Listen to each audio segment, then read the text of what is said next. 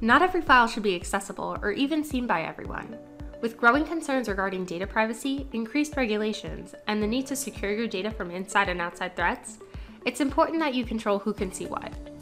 Making sure the right people have the right permissions, or conversely, keeping the wrong people from accessing critical or sensitive data, is something every business is taking seriously.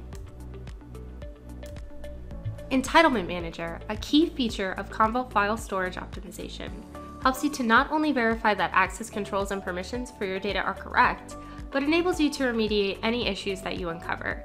Need to reassign files or folders to a new user or group because of organizational changes? No problem. A few clicks and you can quickly make the necessary changes. Come across a sensitive file everyone can see, you can easily correct and remove access where appropriate to lock it down. Let's take a look at Entitlement Manager and how simple managing access to your data can be. Within the Commvault Command Center, navigate to the Activate space. This brings you to the dashboard of analytics, data governance, and e-discovery applications within the Commvault platform. Let's click into the Entitlement Manager to start reviewing the permissions and access of our files. We'll take a look at one of our file servers in our environment and see if we can find any issues.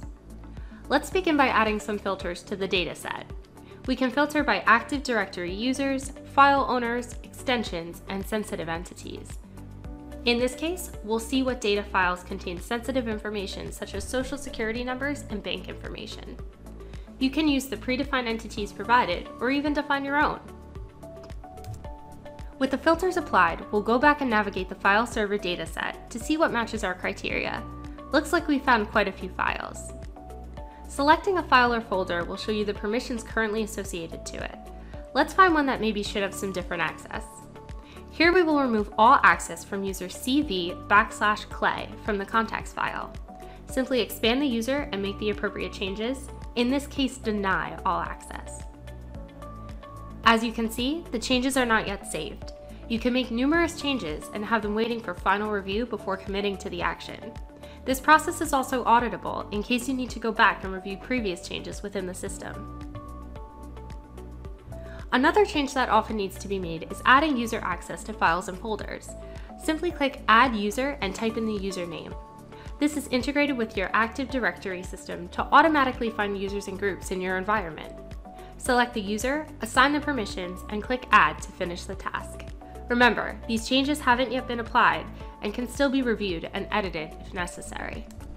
Perhaps we want to do more than add access. We want to completely change the ownership of the file to a different user. Click the Owner field and enter the user you want to take ownership of the file or folder. There you have it. With Entitlement Manager, a part of Commvault File Storage Optimization, you can easily review, manage, and update access and permissions for the data in your environment, ensuring that the right people have the right access to the right files. To learn more about how Commvault Data Analytics can help you protect, optimize, and use your data, go to www.commvault.com/activate.